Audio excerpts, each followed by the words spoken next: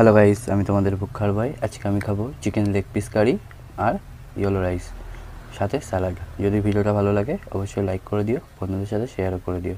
আজ তাহলে খাওয়া শুরু করি।